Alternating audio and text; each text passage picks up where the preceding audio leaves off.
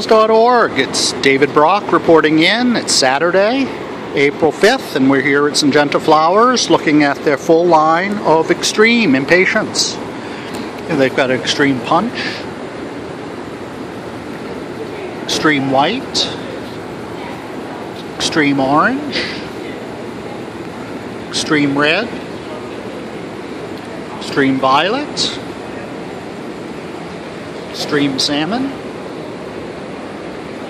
Extreme Bright Rose, Extreme Rose, Extreme Bright Eye, and Extreme Pink. In addition is the Accent and Accent Premium, Lilac, Violet Star, Accent Premium Red, Accent Premium Orange Star,